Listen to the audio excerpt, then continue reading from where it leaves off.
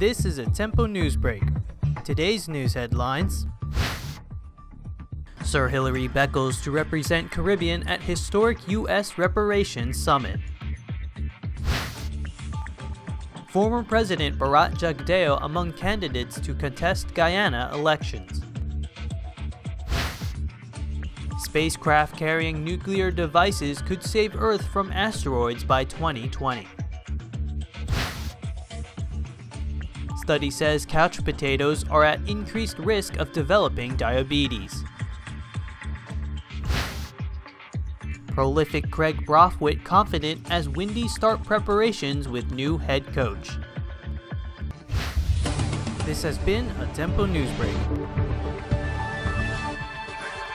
Stay tuned to Tempo or visit www.gottempo.com for more news updates.